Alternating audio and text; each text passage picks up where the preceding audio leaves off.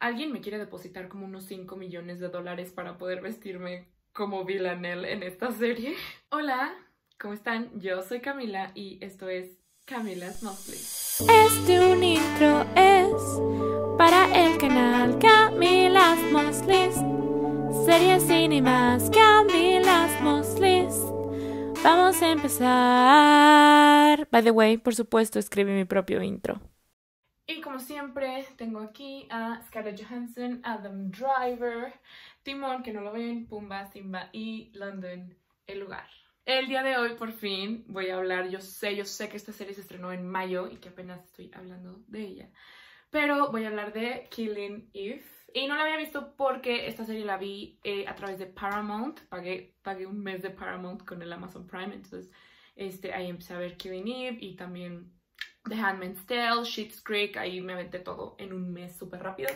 Entonces, por eso hasta ahorita pude ver la tercera temporada de Killing Eve, que es la que se estrenó este año y que tengo entendido terminó en mayo. La verdad nunca había visto, nunca había visto Killing Eve, mm, sé más o menos de qué va, eh, sé que se hizo más popular después del año pasado que Phoebe Waller-Bridge tuvo toda mm, esta fama por Fleabag y todas estas cosas, eh, se empezó a escuchar muchísimo más Killing Eve, a pesar de que ya iban, iba terminando su segunda temporada para cuando se hicieron más, más, más, más, más, más, más, más famosas eh, con esta serie. Entonces, desde ahí tengo muchas ganas de verla. Hasta ahorita pude, pero ya está y muy bien. Eh, básicamente, voy a decir de qué se trata toda la serie, pero voy a hablar en específico de la tercera temporada porque pues esa es la que se estrenó. Killing Eve cuenta la historia de estas dos personas, Eve Polastri y Villanelle, interpretadas por Sandra Oh de Grey's Anatomy, y Judy Comer, que no conocemos a Judy Comer, solo la conocemos de aquí porque es relativamente nueva, pero la verdad es que es muy buena y se va a quedar por siempre. Ella va a salir en la nueva película de Ridley Scott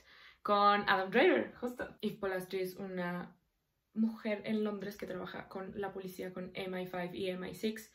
Eh, y Villanelle básicamente es una asesina a sueldo y una está se persiguen entre ellas y hay como una conexión entre ellas que va más allá de cualquier cosa.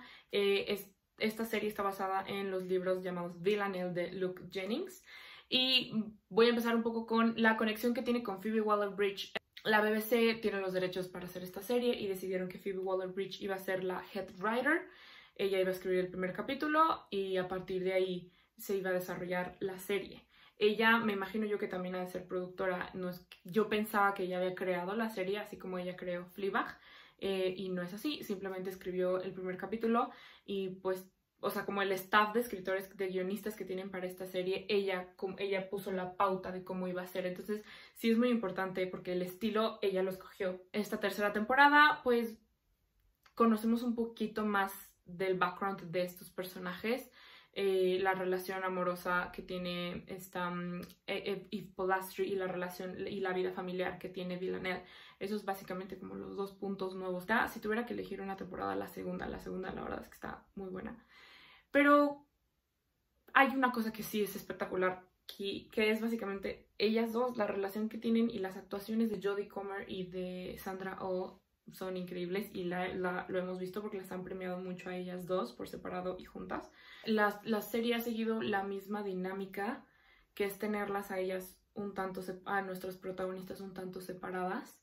Creo que falta explorar cómo es su relación una vez que ya frente a frente, o porque obviamente se comunican y está esta cosa del, del, del gato y el ratón y todo esto, pero creo que ya estamos listos para el siguiente paso que es pues tener frente a frente a Villanelle y a Eve y conocer esa dinámica, porque puede darle un giro a la serie y puede ser una dinámica muy padre. La verdad no sé los libros, no sé, no sé qué sigue en la historia, no sé si los fans ya lo saben, pero mm, eso es lo que yo intuyo que tendría que suceder. Si iban a hacer una cuarta temporada, ya la iban a empezar a grabar, pero es pandemia, entonces se atrasó todo, en especial porque, porque Jodie Comer todavía no termina de grabar su película Adam Driver. Me imagino yo que primero va a terminar eso antes de continuar con Killing Eve.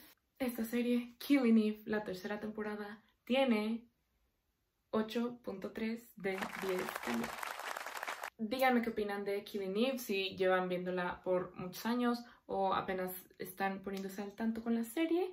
Yo sé, repito, esta reseña viene muy tarde, pero no importa porque igual me gustó verla y está divertida y voy a seguir viendo las otras temporadas. Eh, repito, aquí en, bueno, México, supongo yo Latinoamérica, Em, Paramount tiene los derechos, entonces sale en tele de paga en Paramount. Repito, puedes tener todo el contenido de Paramount a través de Prime. Denle like, comenten, em, compartan, suscríbanse al canal, ya saben, vayan a mi Instagram, ahí está todo lo que veo, todos los highlights, recuerden que son para ustedes. Eh, todo lo que hago es por ustedes, los quiero, los amo, amo que estén aquí. Ya saben, abajo están todos los links de mis cuentas personales, Camila Cueto, por si quieren ver más de mí, que supongo yo que no, pero no importa, dense una vuelta, no pasa nada, no pasa nada. Los amo, gracias, like, comenten, compartan. Y mi cuarto les dice adiós.